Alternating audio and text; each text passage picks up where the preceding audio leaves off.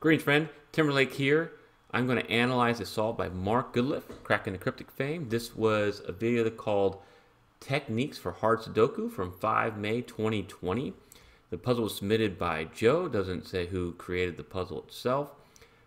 Um, I put this through a solver. It's rated extreme, yet Mark solves it in about 17 minutes. I'm really curious to see how he did it. And with that, it's solving time. So, Mark looks through and starts with, you know, Snyder notation and seeing what crosshatching can do. Snyder notation, which he actually explains to the, the viewers, I think a lot of them are pretty new to the channel, is when you can mark just two spots in any particular uh, block, you would make those marks. And so he starts off finding this three because of the threes in rows four and five and then he finds a 1 because of the ones here in rows 5, column 9, and then he finds this 5. And this is a naked single, and it's actually pretty impressive that he found that. Uh, you know, I've done the video on different ways to find and solve a single cell, but he says, hey, look here, you have this 1, 2, 3, 4, 6, and then you look at the 7, 9 with 8, and of course that has to be a 5. Nice. And from there he goes, well, uh, there's only two cells left, so I'm going to mark those, sevens and nines. So that's a naked pair. And from there, he looks over at the fours, makes only two fours right there. Uh, the beauty of Snyder notation is if you solve one of these cells, the other one will automatically be a four. You'll see that comes into play here shortly. So he's got two twos here, and uh, marks those. And then he realizes, oh, hey, I can solve this for six. Six in columns four and five, and row 4. And by solving that for a 6, he notices that he can solve a 6 right here because of the 6 in column 2, which means we can solve for a 4. And that's the beauty of Snyder notation right there. And then he continues with the 6s and notices a seven, 6 here in row 7 and columns 2 and 3. And continues on with the 6s it will solve that 6 down there in block 9 and then moves up towards block 3 and notices with the two sixes 2 and 3 solve a 6 right there. And now he goes back to the ones. So there's a 1 to come across row 4 a 1 going down column 1 only one place left for 1 right there. Uh, after the 1 he sees this 5 cuts across and says there's only two places for 5 so he'll make those marks for that 5. Then he puts his focus back on the 1s and notices you got a 1 coming down column 6, rows 8 and 9, only one place left for 1 right there.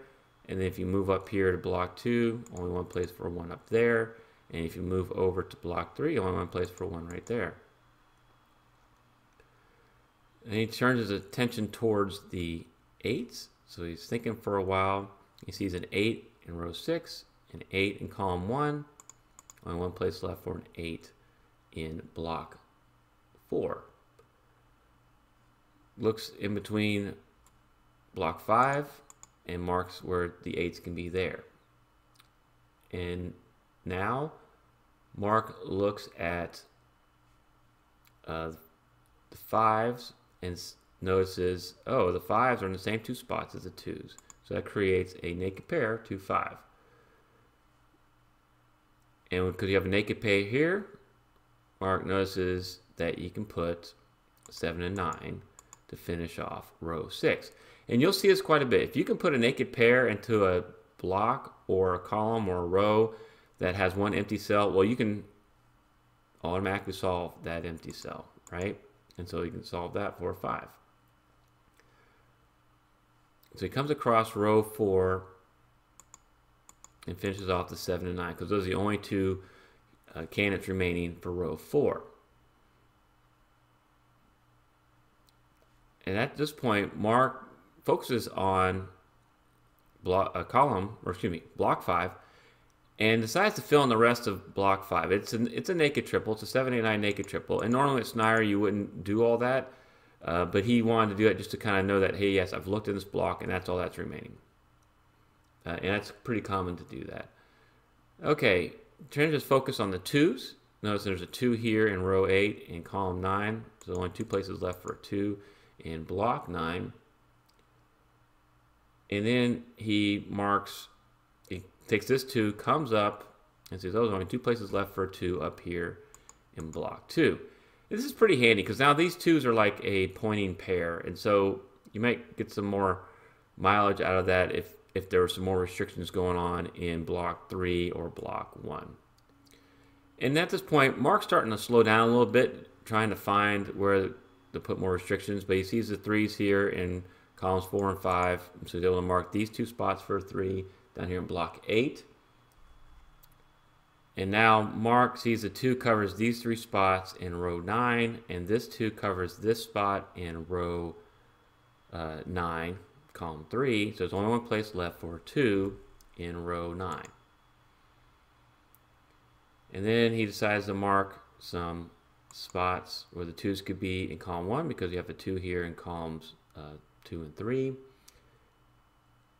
And then he's noticed, even though he solved a lot of cells, there's a lot of restrictions here.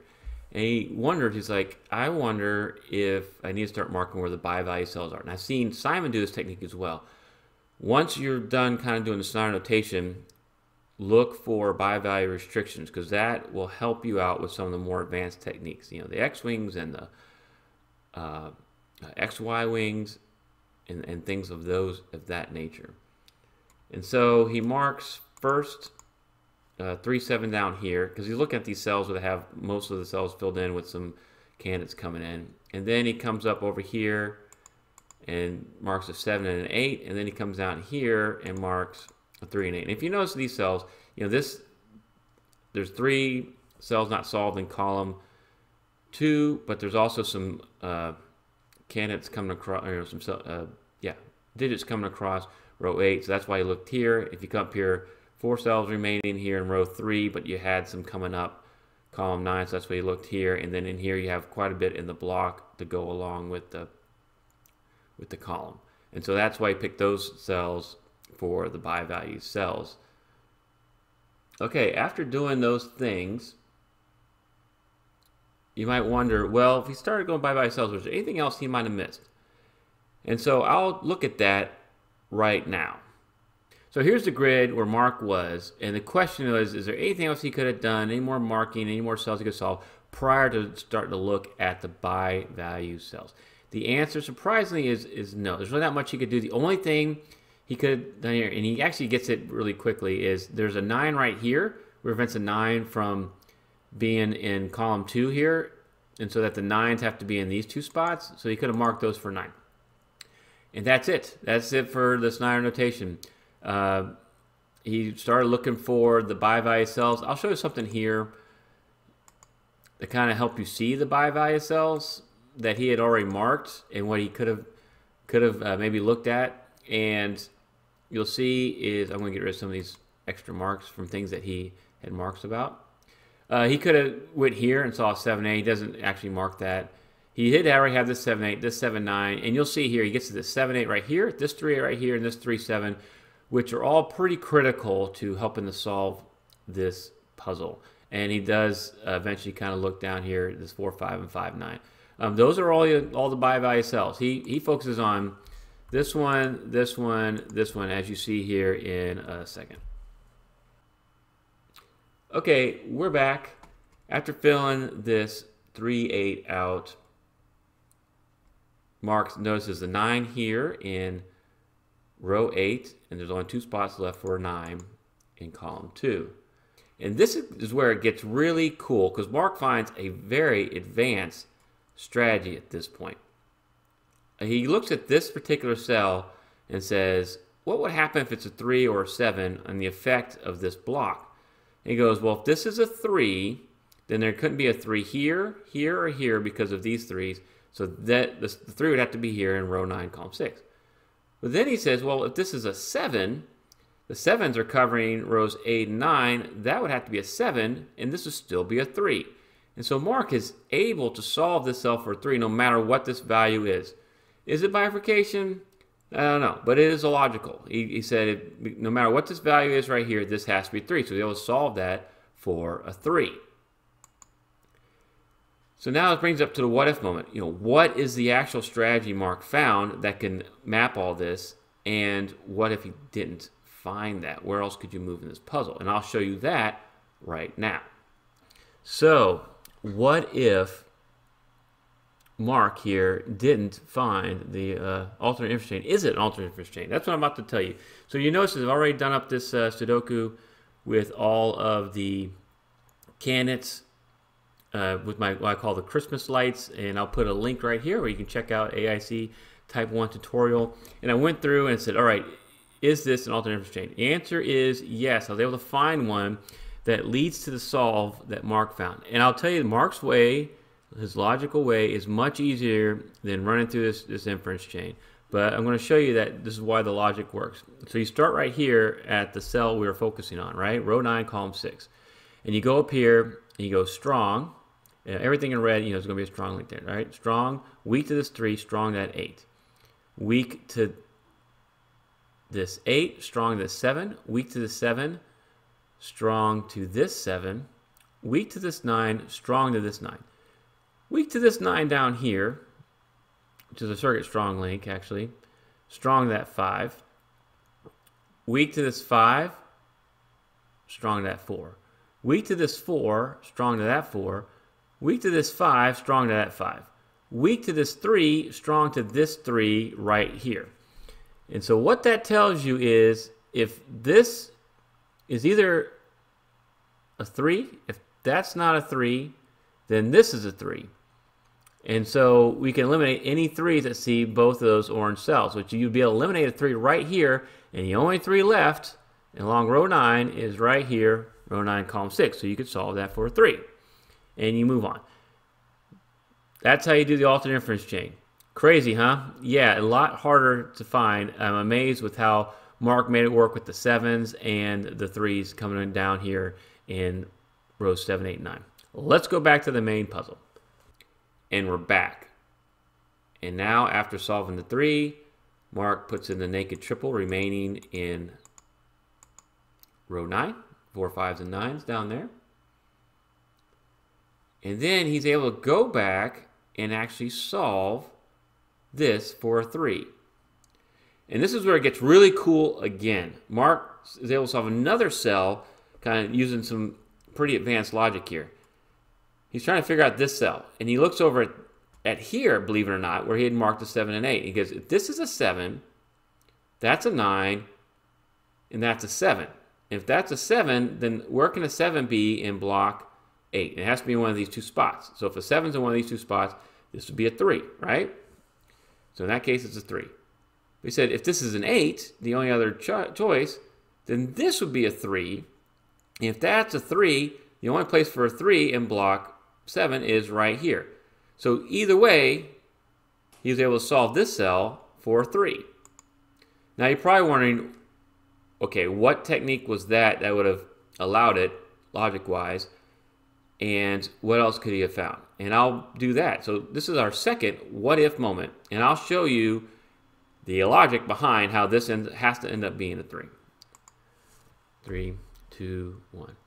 Okay, so how does the logic work, really, for Mark solve figuring out, you know, that this had to be a 3? It's another alternate inference chain. It's a, and it's pretty hard to see. I mean, really, the way he did it, just going, okay, this 3 or 7, what would happen? is really cool. But here's why it would happen. So we'll start this cell. Strong to this 3, weak to this 5. Strong to that 5, weak to this 4, strong to that 4. Weak to this 4, strong to that 5. Weak to this 5, strong to that 9. Weak to this 9, strong to that 9. Weak to this 9, strong to that 7. Weak to this 7, strong to this 8. Weak to this 8, strong to this 3 right here. So if this is a 3, that can't be a 3. If this is not a 3, we figure out that that has to be a 3 right there, and so you can eliminate this 3. That's the chain that is what Mark had basically just said, hey, what if this is 3 or 7? How does it affect the rest of this grid? Pretty cool, huh? Uh, again, I'm pretty floored by how Mark found this. Let's go back to the main solve. And we're back. After solves for 3, Mark puts in the 7s up here in row 7, columns 1 and 3. And then starts looking at these four cells. Okay, something I wanted to point out here about uniqueness. You know, I have these four cells. This is what Mark was looking at. Pause the video and solve for this cell right here while I give you a few seconds. Okay, those of you able to do it, congratulations. You understand how uniqueness works. Those who just want to enjoy the show, this cell is a 9. Why is that a 9? Well, here's how uniqueness works. You have a 7, 9, 7, 9, 4, 7, 9, 4, 7, 9. This puzzle has one unique solution. And so we, in this case, a 4 has to be in one of these two spots. Why? Because if 4 wasn't there, you could go and solve this puzzle 7, 7, 9, and 9, and then go back and just change it and go 9, 9, 7, 7. You'd have two solutions, same puzzle. We know it's a unique solution. So if you see these additional candidates beyond the 7 and the 9, you basically know that that additional candidate that shares the cells has to be in one of those two cells. And since the 4 has to be in one of these cells, it can't be down there, and you can solve that for a 9. Mark alludes to this, and he says, oh, I want to find another way to solve that logically. And I don't blame him. Um, you know, I do too. And he does show that in another, you know, further on in this puzzle.